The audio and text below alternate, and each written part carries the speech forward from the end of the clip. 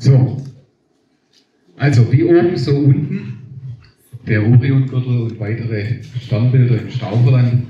Also wir haben hier in der Gegend wirklich, äh, sind wir auf die Spur gekommen, dass bei uns ein, ein Sternbild Orion ähm, wirklich da ist. Genauso wie jetzt bei anderen äh, Geschichten, wie jetzt äh, bei den Cheops-Pyramiden zum Beispiel. Erstmal, dass ihr wisst, um was es da geht. Es ist ähm, dieses Orion-Sternbild. Meistens wird hier der Gürtel des Orion, wo ist das? Da, genau. Also diese drei Punkte, Mitaka, Alnilam und Alnitak. Das sind so diese drei Sterne, die wo man auch in anderen Ländern ähm, in Gebäuden sehen kann. Ja. Wir suchen aber, und zurzeit sind wir auf der Suche in der Forschungsgruppe und auch ich mache da wirklich gerade viel, wir suchen nach diesen ganzen kompletten Punkten. Ja. Äh, wo können, könnten die denn sein? Auch hier vorne, diese Punkte.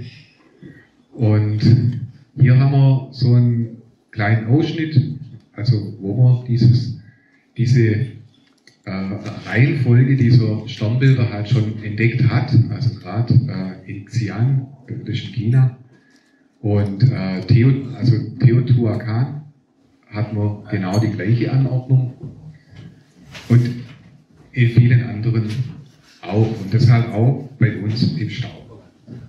So, sobald ich mich bewege. Ähm, ja,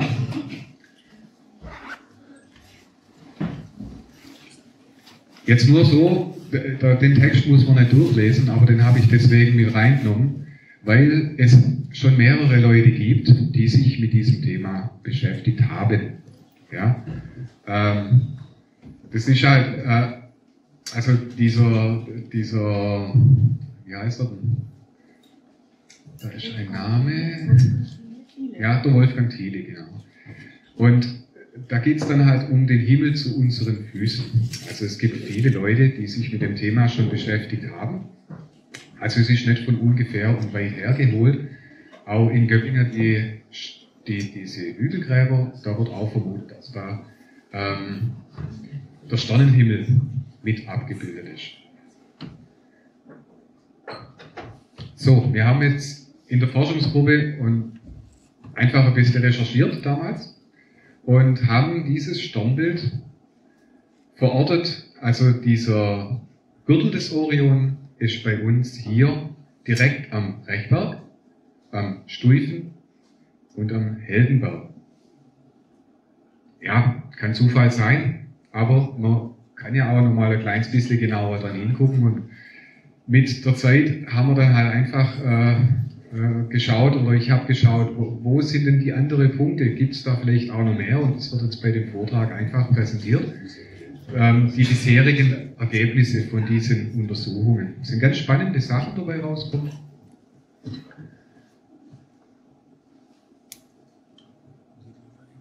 So, da jetzt auch nochmal. Und was bei uns in, in also bei den Kaiserberge oder im Stauferländle das Besondere ist, dass wir das Sternbild Schlange an diesem Oriongürtel dran hängen haben. Ja, das sieht man hier. Ja, da ist der Kopf der Schlange und es zieht sich hier bis zum Hohen Staufen. Der Rechberg ist genauso involviert und der Stufen bildet den Kopf dieser Schlange. Also haben wir die Besonderheit, dass wir noch an, an diesem Gürtel eine Schlange hängen haben. Ja? So, hier nochmal ein bisschen größer. Also Heldenberg ist unten. Also an der Stelle, da passiert es ungefähr in der Höhe dieses Kreuzes am Stufen. Also der Stufen, der war ja jetzt nicht, äh, da war keine Burg drauf oder ist keine Burg drauf. Und dieser, dieser Sternenpunkt ist ungefähr an der Stelle des Kreuzes.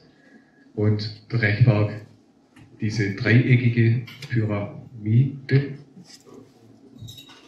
Ui, wer war denn das? Mama. Da ist gerade irgendjemand ins Bild gelaufen. Nee, das war weg. Alles gut. Also, hier nochmal, damit man das einfach nochmal so sieht. Und dann kommen wir zu den Besonderheiten diese, dieser Berge, die, die wo den Gürtel bilden. Also der Helderberg hat Eckpunkte und die sind dreimal 640 Meter.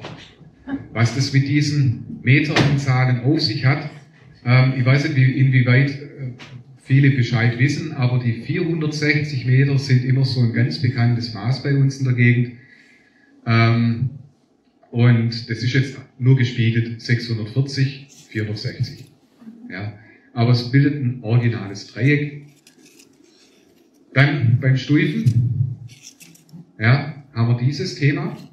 Er bildet den Kopf der Schlange am, im Sternbildschlange und er ist ein Punkt von diesem Orion. Und wenn man mal ähm, einfach dieses Symbol der, der Ureus-Schlange, die wo die Pharaonen in Ägypten immer so am Kopf hatten, wenn man das einmal im Stufen gegenüberstellt, dann kommt einem das ziemlich merkwürdig vor, muss ich sagen. Also mir ist damals sehr merkwürdig vorgekommen. Wir sind ja damals erst mal draufgekommen, hier der Ureusgarten, der ist an der Stelle.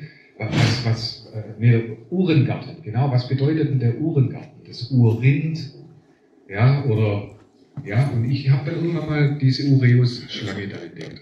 Ja, und äh, es, es ist ein Land, also es könnte ein Landschaftsbild sein. Ja, und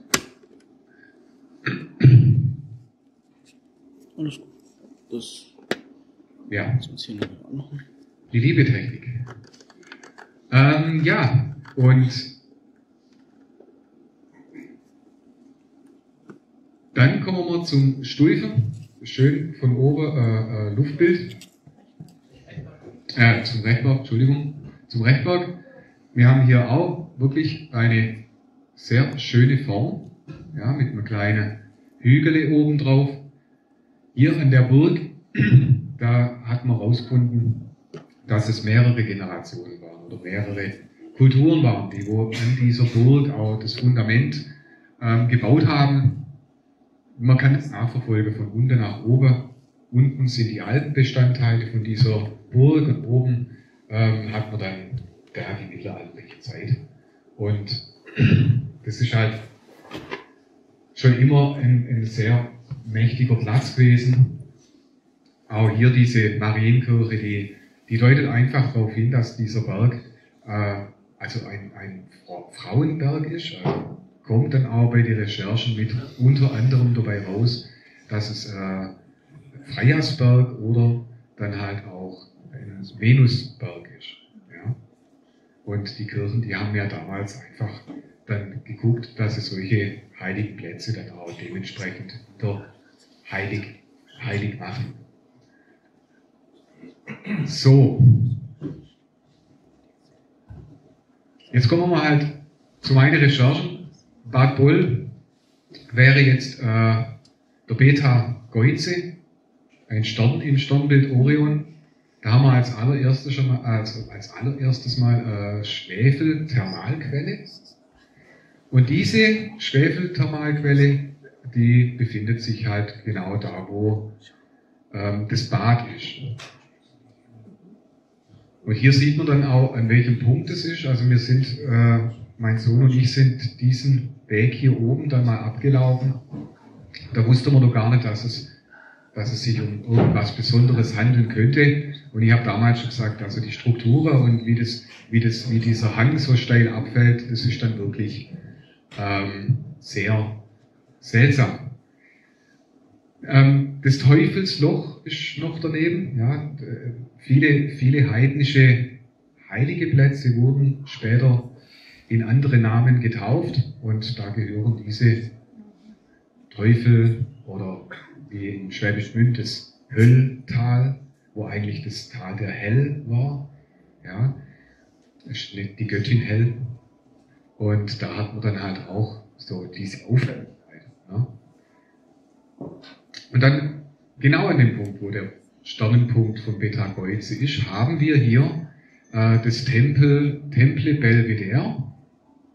Und dieser Mann, der hat dieses Teil gebaut, also da ist hier eine Pyramide, also hier geht's hoch und dann geht's hier nochmal hoch und dann kann man von da aus die, Stein, äh, die Kaiserberge schön angucken. Stehen uralte Eichen da an der Stelle und der war Maurer und Steinhauer. Also es deutet darauf hin, dass er vielleicht auch ein Freimaurer war. Also er war äh, beim König beschäftigt als äh, oder ja, beim Herzog, Württembergischer Herzogshof, der hat die, der hat ganz viele, ganz viele tolle Bauwerke in Stuttgart gebaut zu der Zeit und äh, in Göppingen hat er sogar 1805 angefangen für Napoleon und Tri Triumphbogen zu bauen. Ich weiß nicht, gibt es in Göppingen einen Triumphbogen? Glaube nicht, gell? Aber er hat wohl schon mit den Planungen angefangen. Was dann ganz witzig ist, gerade diese Denkmalstiftung Baden-Württemberg, wo ich dann über Umwege dann, äh, auch hier ist sein Name, Gottlieb Barth, ähm, jetzt guckt euch das Symbol mal an. Ja, das ist die Rune Algis. Also diese versteckte Symbole haben wir überall. Und das alles in dem Zusammenhang mit diesem Tempel Belvedere und dem Sternenpunkt, wo, wo für mich den Beta Goetze darstellt. Also es war für mich dann halt so, ja, es könnte sein, dass hier der nächste Platz für einen Sternpunkt ist. Sieht ganz danach aus.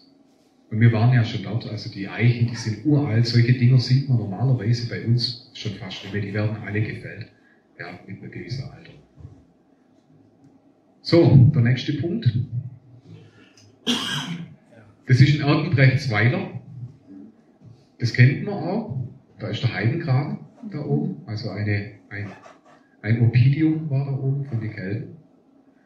Der Punkt ist exakt, wo jetzt ein Steinbruch existiert. Ja? Und die Burg Neufen ist direkt daneben. Also das ist ein Gebiet. Ja? Burg Neufen ich weiß nicht, wann sie die Felsen in diese vorgebracht haben, ob das davor war, bevor sie die Burg hingestellt haben, oder dann währenddessen, während sie die Burg dann äh, aufgebaut haben. Es sieht auf jeden Fall mal so ein bisschen pyramidal aus. Der Heidengraben ist bekannt, da wird jetzt auch gerade ganz groß gebaut, also da bauen sie einen Aussichtsturm und alles Mögliche da oben hin. Und ja, der Heidengraben ist ja nur ein Teil vom vom Opidium Heidengraben. Also hier sieht man die ganze, die ganze äh, Erdwelle, sage ich mal. Ja, auch hier oben. Und das war damals äh, befestigte, stadtartige Siedlung. Ja, und die wird in die Latenzeit äh, zurückdatiert, wobei solche Plätze sicherlich auch noch viel früher besiedelt waren und das ist die größte keltische Siedlung Mitteleuropas. Also das direkt bei uns hier ums Eck. Also das sind von hier Luftlinie aus 50 Kilometer oder 40 Kilometer. Der Mainstream sagt doch, dass Hochdorf die größte keltische Siedlung war. Also Meinst du in Enz? Stuttgart, in Stuttgart. Hochdorf Inns. Hochdorf Enz, Ja. das ist ja offiziell Ja. so. Gell? Also hier, ähm, meine Recherchen haben das ergeben, dass das die größte keltische Siedlung Mitteleuropas war. Hab da auch noch so ein kleines Bildchen von so einem Opidium. Und so in ungefähr hat es dann ausgesehen, nur ist es halt hier geschlossen. Und in Ergenbrechtsweiler Grabenstetten war das halt wirklich wie so eine Art Halbinsel. Und da hat man dann halt mit Welle zugemacht. So, das ist der nächste Sternenpunkt.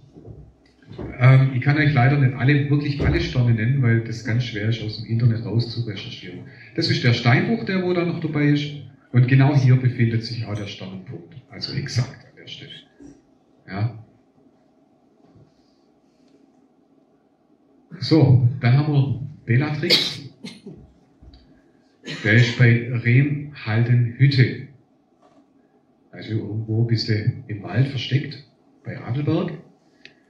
Und was wir halt hier haben an Besonderheit ist einmal der Elisabethenberg. Hier, da ist hier oben auch so ein kleines Bergchen. Soll der Barbarossa geboren sein. Ich meine, es ist ja immer noch unbekannt, wo dieser Barbarossa dann letztendlich geboren ist, aber der Elisabethenberg kam auch schon mal ins Spiel.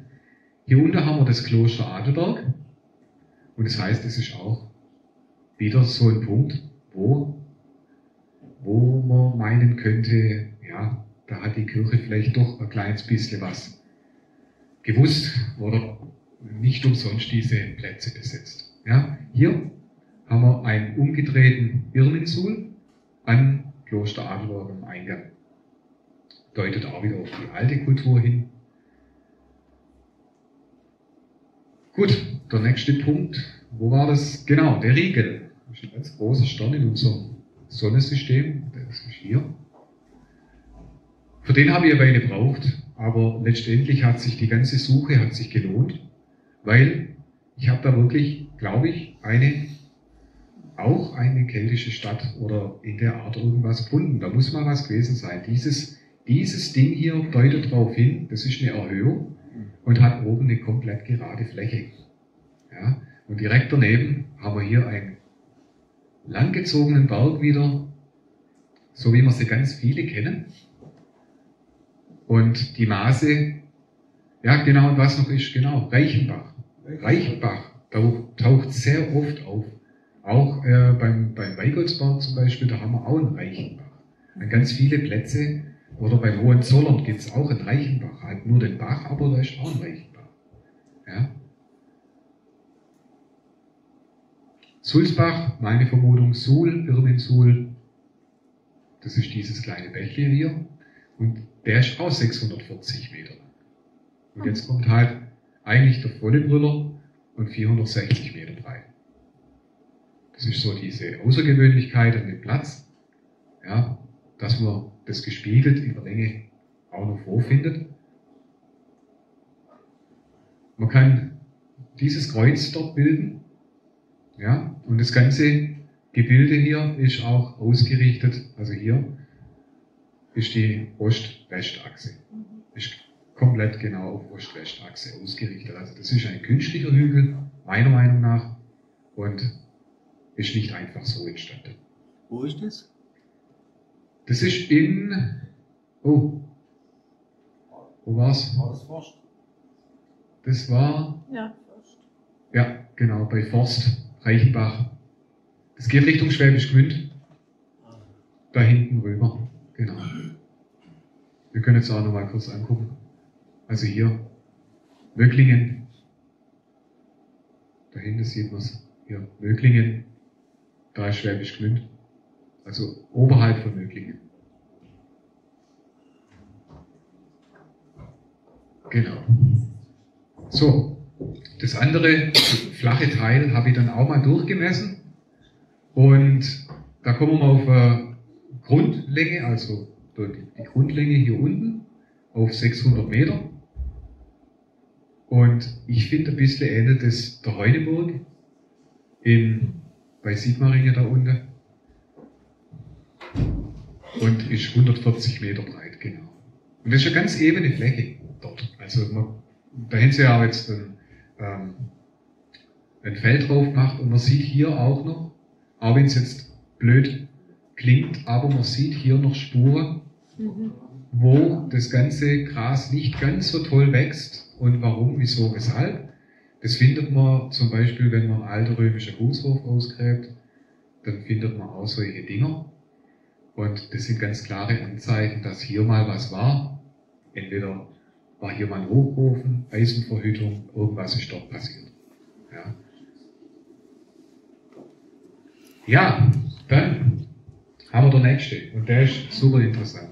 Der wird auch Thema sein im Vortrag Stargate, weil dieser Punkt bei Steinheim am Aalbuch, der hat eine absolute Besonderheit.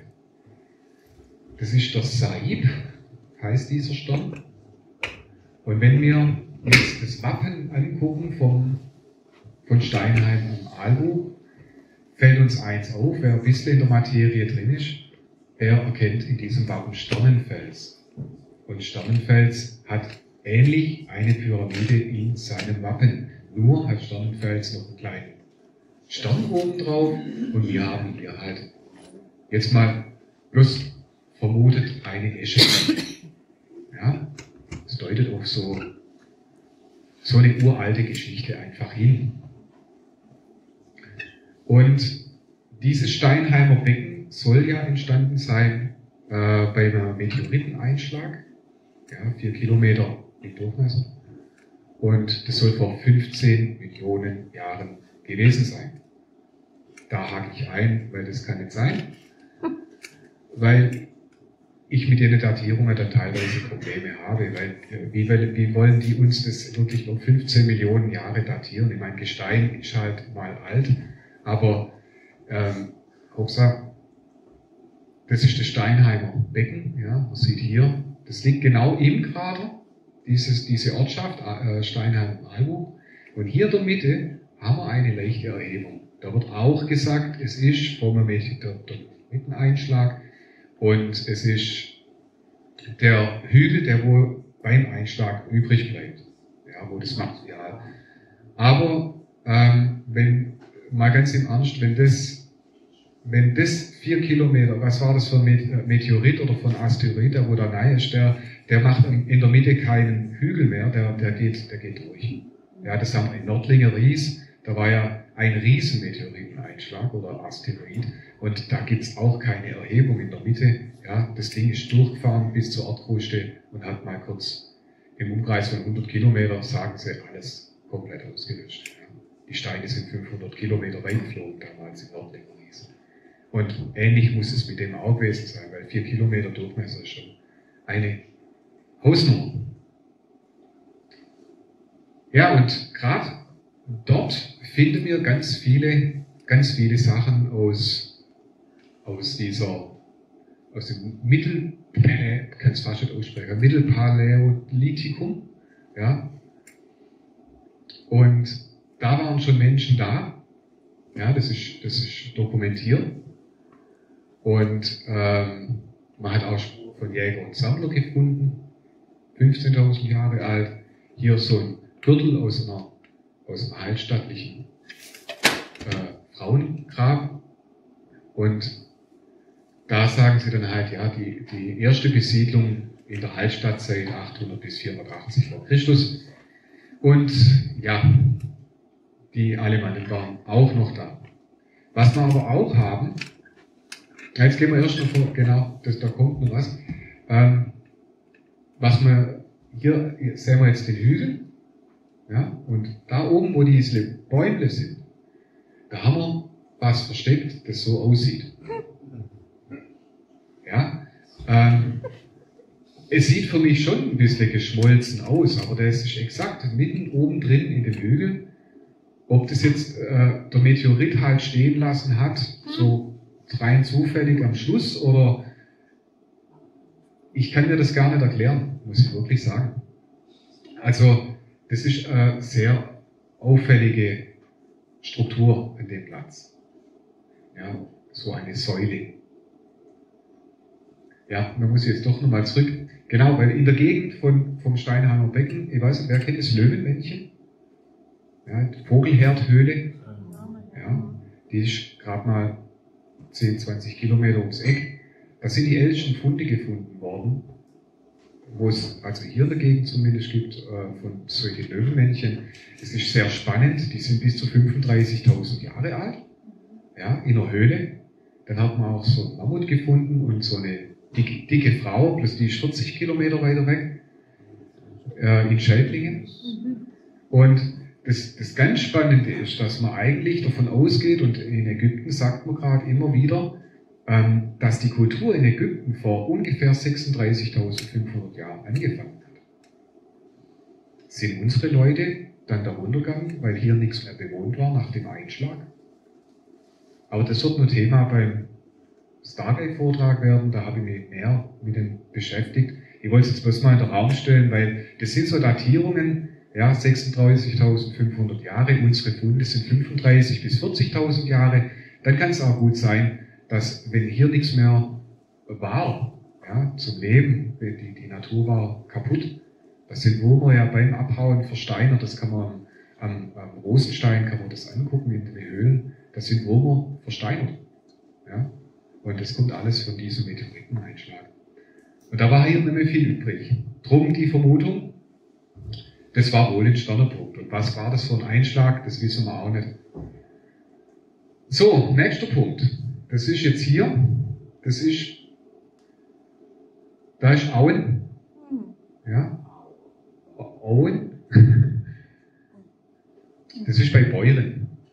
Ja, da haben wir hier auch wieder Thermalquellen und wir haben hier dieses Bergelein. Und man wird es nicht glauben, wir haben die 230 Meter und die 230 Meter sind die Kantenlänge von der Cheops-Pyramide in Ägypten. Und die 460 Meter sind zweimal 230 Meter. Ja, auch wieder die Kantenlänge von der Cheops-Pyramide in Ägypten. Also irgendwas ist da sehr ähnlich in meinen Augen. Und er heißt Engelsberg. Ja. Der nächste Punkt ist bei Ebersbach an der Filz. Da habe ich auch ein Video gedreht. Ja, da habe ich im Wald dann auch was gefunden. Hier läuft der Ebersbach, hier, hier runter läuft der Ebersbach. Und ähm, ja, am Ende dieses Baches findet man diese Konstrukte. Ja, der Bach teilt sich in ganz viele Richtungen auf. Ich bin mal ein Bächlein danach gelaufen bis fast zur Quelle. Und da finden wir dann halt solche Hügel. Das waren exakt drei Stück in dem Wald. Und man sieht auch hier überall, also das ist jetzt nicht irgendwie nur Moos, das sind Steine. Also die, die, die Teile sind Steine. Da oben, das sind Steine, Steine, Steine. Also es wurde, da wurde irgendwas hingebastelt. Ja. Und das ganze Tal, das ganze Tal in Ebersbach, also hier, das ist auch wieder ausgerichtet. Also hier geht's nach Süden und Norden. Also hier ist, ich war damals kurz vor der Wintersonnenwende dort und da ist das Licht komplett genau, hat das ganze Tal ausgeleuchtet gehabt. Also Zufälle gibt's auf jeden Fall bei uns in Deutschland. So, der nächste Punkt ist Althütte. Wie gesagt, ich habe jetzt diese Punkte und diese, ich habe nicht alle gefunden bis jetzt, also mittendrin in den Forschungen. Äh, da haben wir komischerweise bei Schönhütte, Althütte, wieder ein 460 Meter Berglein. Ja, und die Form ähnelt im Stufen. Ja, wir haben hier so diesen Grundberg und oben ist schon ein ganz kleiner Anbau dran. Hier sieht man es besser. Ja. Ja. So, dann der nächste Punkt. Ja, ich, bin, ich habe es ein bisschen durcheinander gemacht, aber mir hätte auch von rechts nach links, aber ich finde es interessanter, wenn es ein kleines bisschen. Dann, dann bleibt man eher da. So. Ja, was haben wir hier? Limburg. Das ist die Limburg. Genau, die Limburg. Ähm, hat sich auch herausgestellt bei den Untersuchungen zum Stargate-Vortrag, dass dieses Teil also das hat jetzt 1610 Meter. Aber jetzt teilt es mal durch 7. Ist jetzt schwierig, ich sage es einfach, das sind 230 Meter. Also man hat jetzt einfach die 230 Meter hier mal 7. Auch wieder aber Punkt, wo keltisch besiedelt war, wo man auch in Weilheim diese, diese äh, Sage des Drachen haben und so weiter. Ja? Also die Limburg ist eine ganz bekannte Geschichte. So, jetzt kommen wir nicht zu dem Punkt, da waren wir schon. Wir kommen nach Eichtal. Und da war, äh, waren Forschungskollegen von, ja, vom, vom, vom Waldgeist dort. Ja, Michael Metzger. Und die haben das damals aufgenommen, was da gefunden wurde. Ich habe mir das Video mit Spannung angeguckt wusste aber gar nicht, um was es da geht und wo die waren. Ja? Und dann habe ich einen Kommentar bei YouTube, habe ich halt geschrieben, ja, richtig schön, toll. Dann kam die Antwort zurück, ob vielleicht äh, das in Eichtal mit dieser Römerquelle oder mit diesem Römerfriedhof oder was da gibt, Römerbrunnen, ob das da damit zu tun haben könnte. Und dann hat mir der Christian Metzger geantwortet, dass diese Funde, die wo sie hier, ups, die wo sie hier gemacht haben, ja, das ganze Zeug, das ist wie ein Trümmerfeld. Also auch im Schwarzwald findet man solche Megalithsteine wirklich oft. Das ist wie, wie wenn jemand mit einer Bombe reingeschlagen hätte. Ähm, das ist ein Eichtal. Genau in dem Punkt, wo ich dann nachher praktisch gebraucht habe oder gesucht habe. Ja. Das kann man sich auf YouTube dann mal angucken, wenn wenn man möchte, als beim Wahlkreiskanal. So, und dann kamen wieder ähm, so Sachen, wir machen in der Forschungsgruppe dann halt auch, ja, weißt du das, weißt du das, weißt du das. Und da gibt es ja wohl den Jakobsgürtel, der wo auf der Sirius hindeutet. Dann habe ich mal versucht, diesen Sirius zu finden. Ähm, hat jetzt mit Orion direkt nichts zu tun, aber wir kommen da bei Ballendorf raus, hier ist ein riesen Bundeswehrlager am, am Hügel. Und Aselfingen, bei uns der Aasrücken, das könnte auf die Asel hindeuten. Bei ganz viele, bei ganz viele Ortschaften kommt dieses Aas, Aselfingen oder Aas, das ist oft mit drin, ja, wo das einfach darauf hindeutet. Könnte sein, dass das da hingehört. Und nicht weit davon entfernt ist ja auch wieder diese Vogelherdhöhle mit diesem Männchen. So. Das ist jetzt bloß einmal, gerade wegen dem, dem Löwenmännchen und dem ganzen Gebiet, Balendorf, Baal, könnt ihr auf den Baal hindeuten. Ja. Und was ganz arg auffällig ist an dem Ganzen, dass die Linie, die wir haben, von Bad Boll bis nach Bannendorf, die geht hier wieder über den Weigoldsberg. Der kommt jetzt auch noch gleich dran, weil das ist auch ein, ein Punkt vom Stern, Sternbild. Und das passiert genau den Weigoldsberg und geht dann runter nach Bagendorf.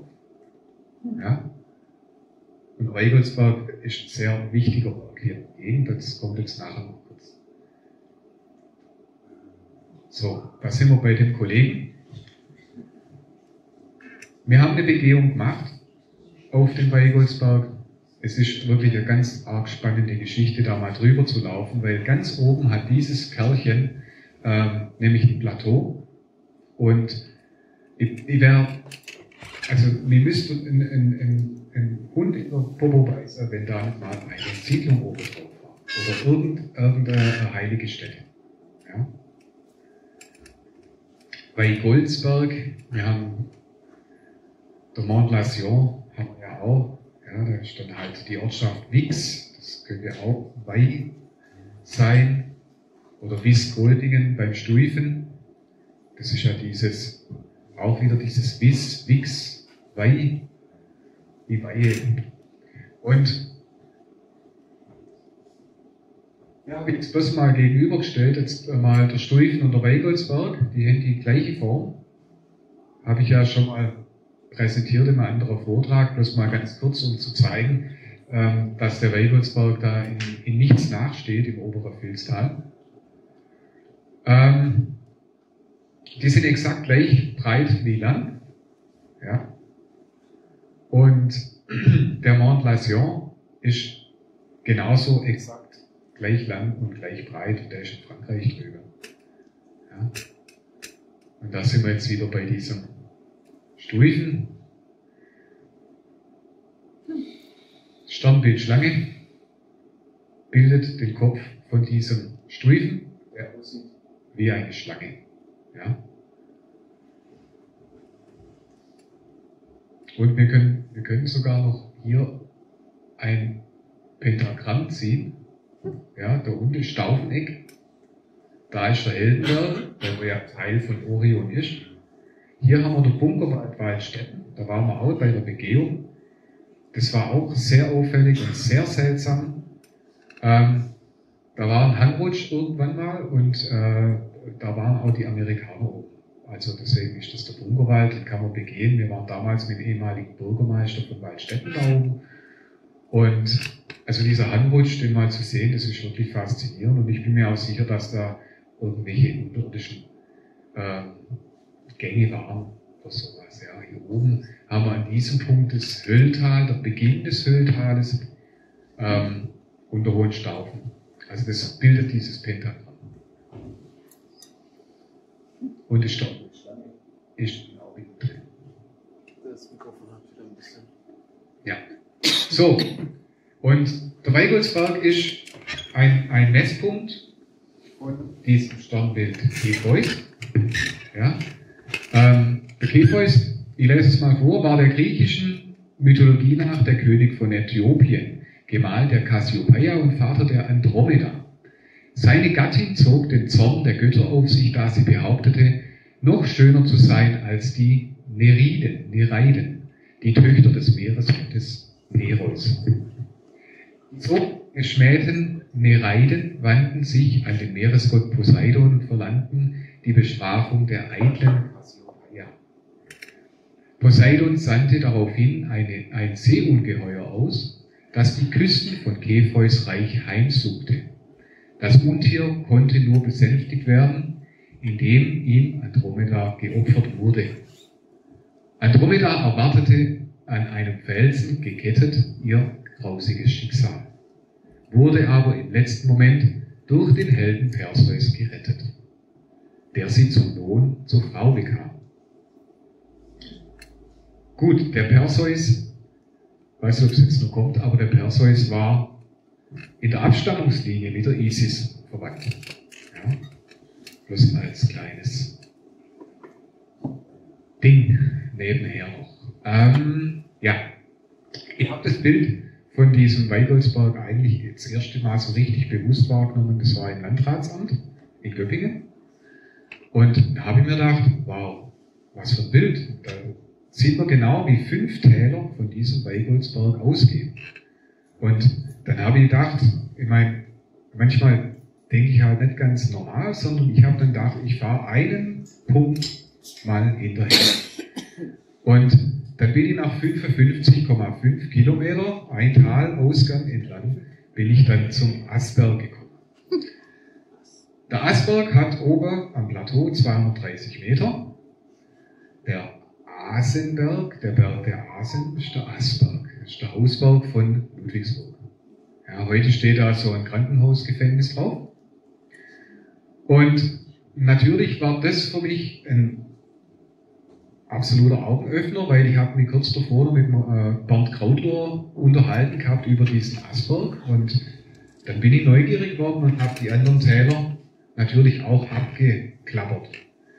Ja, das ist das Tal Richtung Wiesensteig vom Weigoldsberg aus. Da komme ich direkt an der äh, Salbendinger Kapelle dann raus.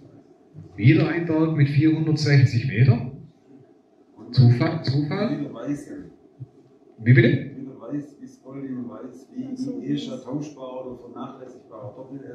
Genau. Und da ist eine St. Anna-Kapelle obendrauf auf diesem besetzten Berglein nach 55,7 Kilometern.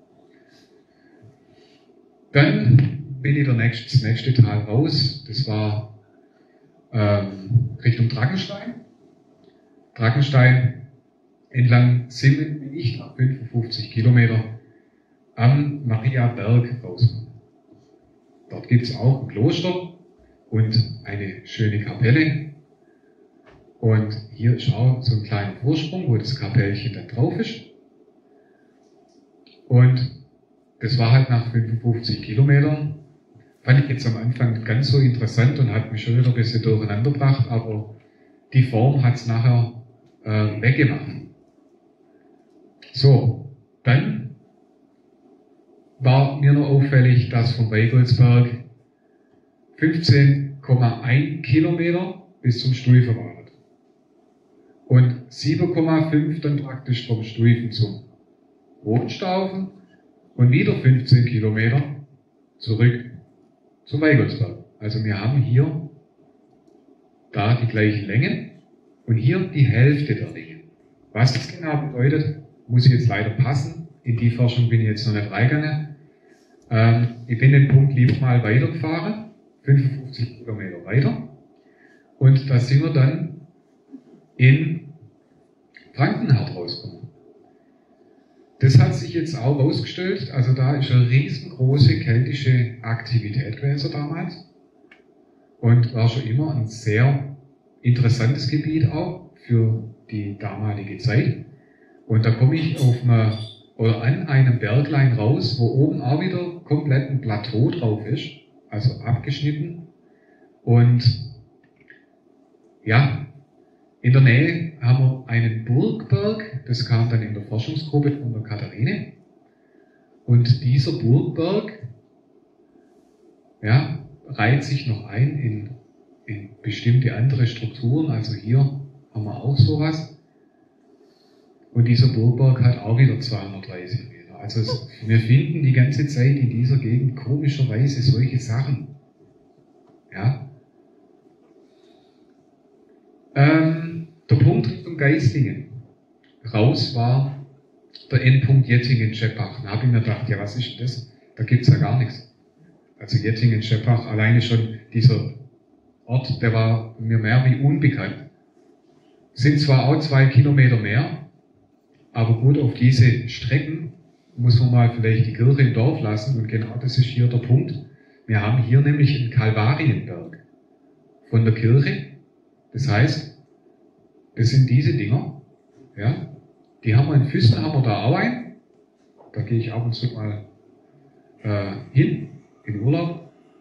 Und ja, ähm, ein Kalvarienberg war immer eine Besetzung eines heidnischen Heidentums, äh, eines heidnischen äh, Platzes, ja, Heiligtums. Da haben die Kirchen dann einfach den Platz übernommen und haben dann bestimmte Sachen draufgebaut. Und auch dieser in Jettingen-Scheppach, man kann sehen, es, es geht wirklich äh, ein ganz schönes Stück nach oben und endet dann immer Plateau. Also ist auch wie so, so rund, rund Pyramide oder sowas ähnliches. So, und dann habe ich, hab ich mir das, das äh, Sternbild mal angeguckt von, von äh, Sternbild Kepheus.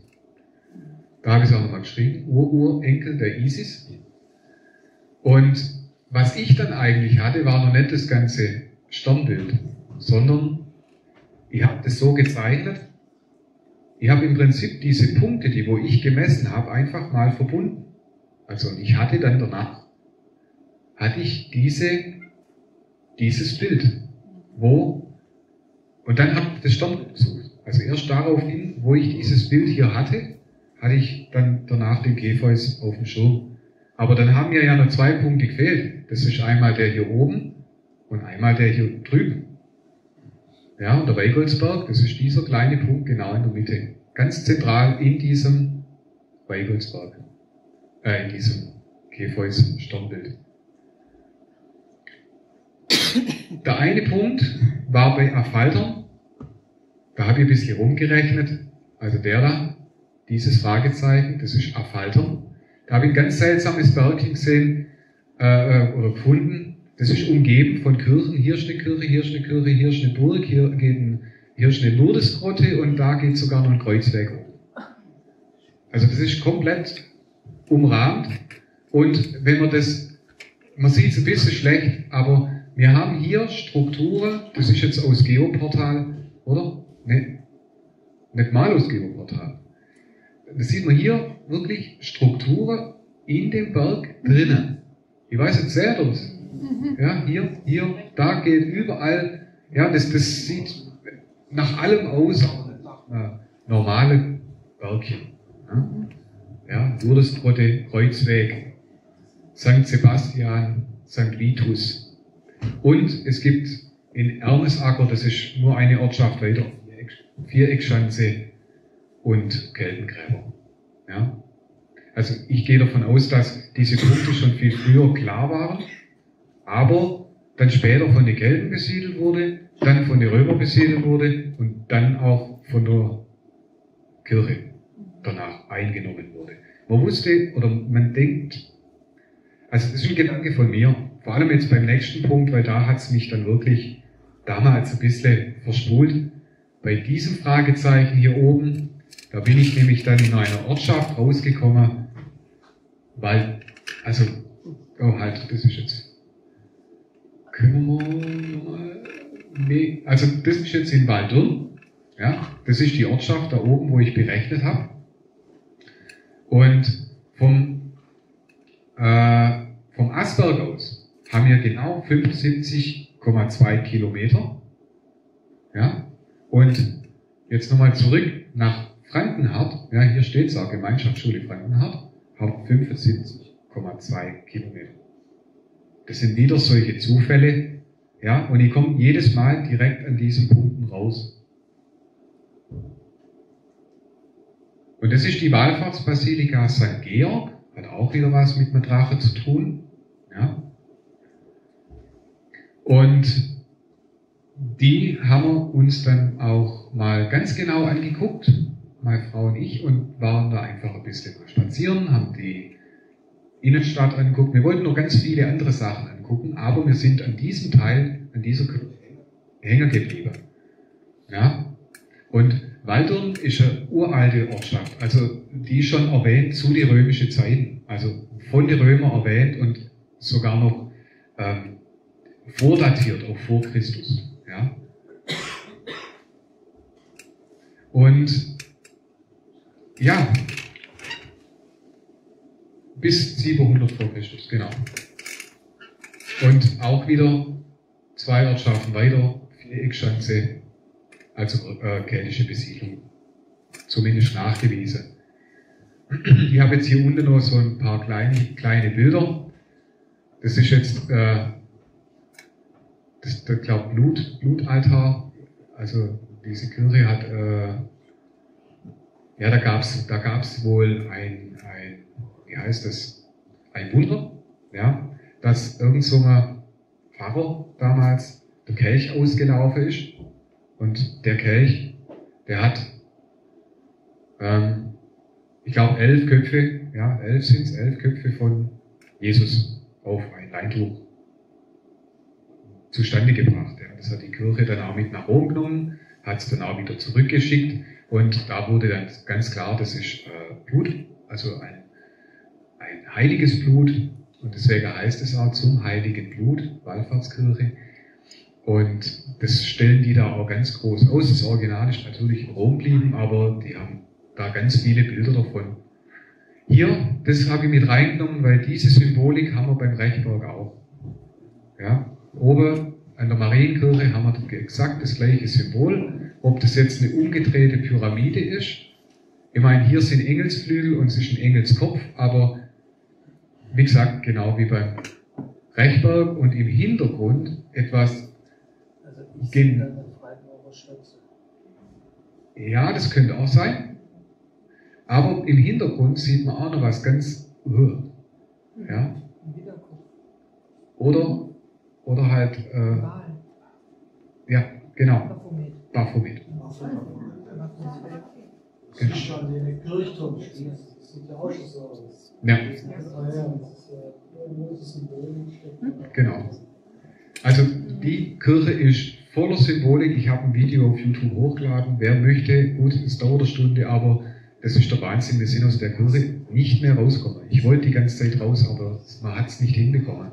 Hier haben wir auch äh, eine, eine alte Symbolik. Hier unten ist die Odalrune mit verarbeitet, aber gespiegelt. Ja, so wie sie es halt auch oft dann gemacht haben. Hier haben wir den Altar. Ja, hier ist der Georg, wo der Drachen gerade zur Strecke bringt. Also ich finde, das ganze, also diese ganze Kirche ist sowas von sehenswert. Auch wenn ich jetzt nicht unbedingt der Kirchgänger bin, aber in dem Fall war es wirklich eine absolute, das war ein, ein Hingucker. Ja. Und was, ja, jetzt kommt's. Wir haben in der Kirche die Geschichte mit unter anderem des Käfeus mit drin.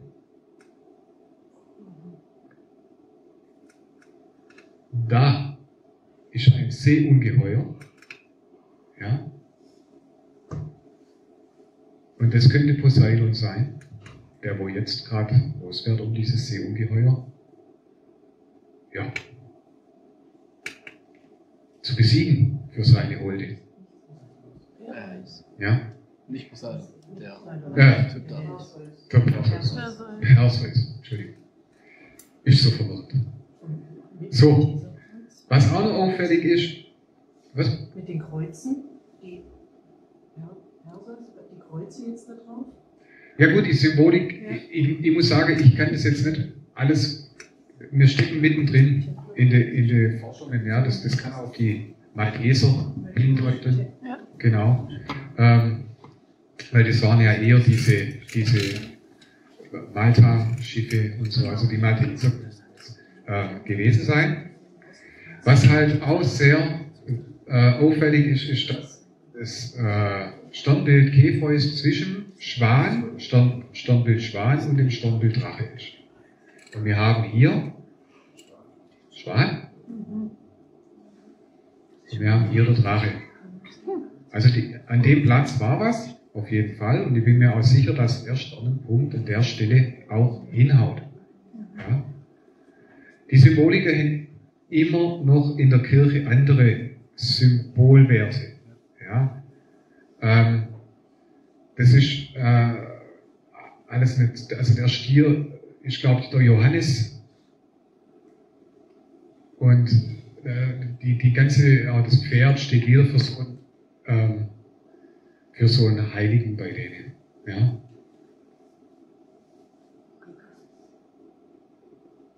Das ist das Sternbild Pegasus. Ja.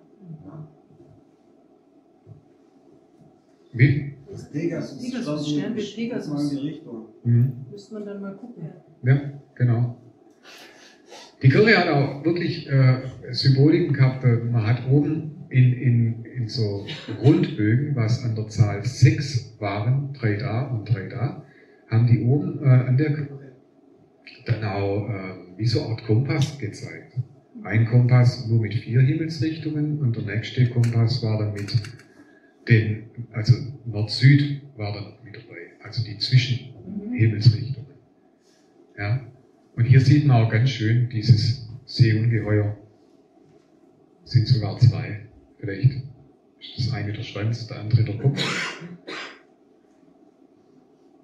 So. Jetzt noch ein bisschen Theorie. Die Planetengötter, der Stier stand für den babylonischen Stadtgott Marduk, der Löwe für den Kriegs- und Unterweltgott Nergal, der Adler für den Windgott Ninurta und der Mensch für Nabu, den Gott der Weisheit. Das sind jetzt diese vier Symboliken mit den Schwäne und mit dem Ganzen. Und das war die Vorstellung von den Hütern der Weltenecken und von Trägern des Himmelsgewölbes. Ja, also im ersten ist der Stier, im vierten ist der Löwe, im siebten der Skorpionmensch und im zehnten Sternbild Wassermann. Das kommt eher aus dem Babylonischen, das Ganze. So, noch eine Sache mit, mit Ezekiel, um diese Figuren einfach zu. Jetzt sieht man es oben nicht. Der Ezekiel äh, hat ja immer auch von, von nicht Außerirdischen, aber der hat halt ganz komische Dinge beschrieben.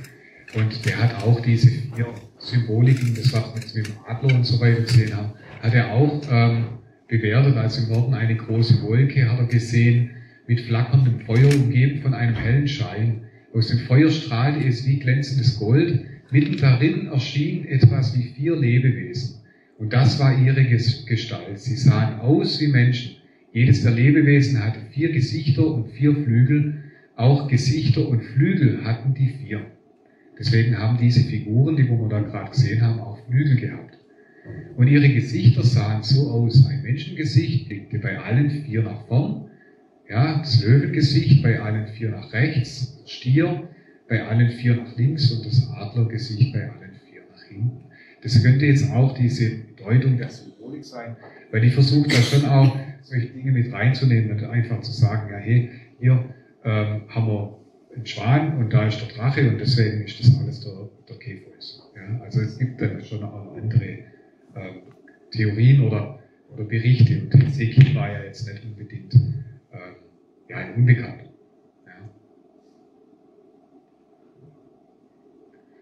Was ja auch sein könnte, ist, dass es die Urkuh, Urkuh ist, auf die das hindeutet. Ich habe jetzt auch, auch mal die ägyptische Symbolik nochmal rausgesucht.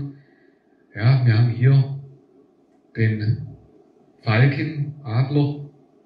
Ja, nee, das, das soll der Mensch sein. Genau, der hat eine Sonne oben drauf und eine Ureus-Schlange. Das ist jetzt der Falke.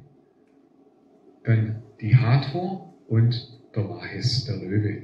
Und wenn wir jetzt das Löwenmännchen wieder in der äh, wo in der Vogelherdhöhle gefunden wurde, dann könnte ja Mahes auch dieses Löwenmännchen sein, wo man halt hier einfach auch auf der Alp So. Jetzt haben wir die Symbolik mit dem Falke nochmal. Also Isis, Freya, könnte auch sein. Dass es alles übernommen wurde und von da gekommen ist. So. Genau.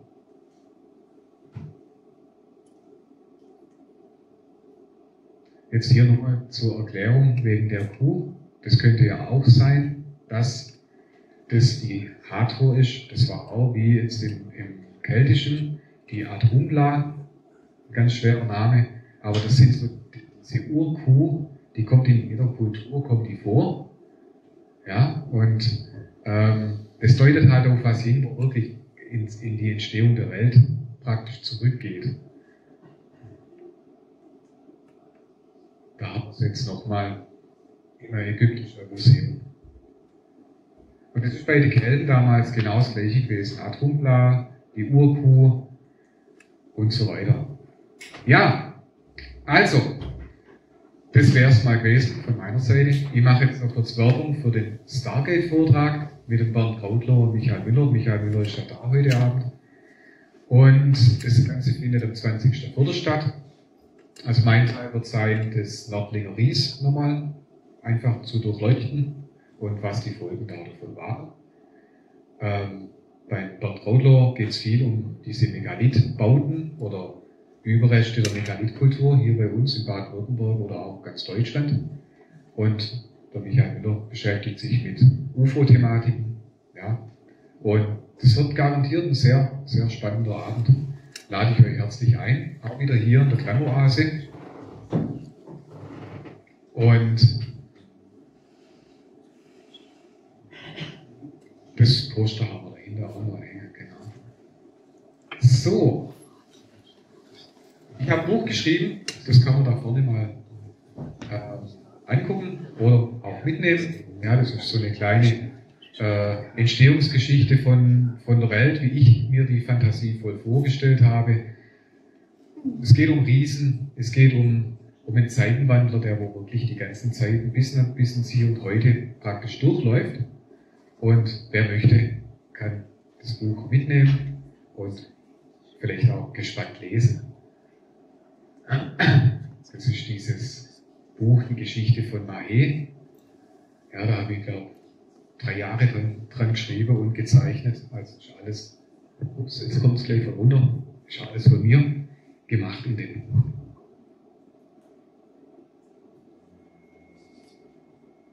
Na? Kommt noch was? Genau, das ist das Büchlein. Und das soll es dann gewesen sein. Jawohl.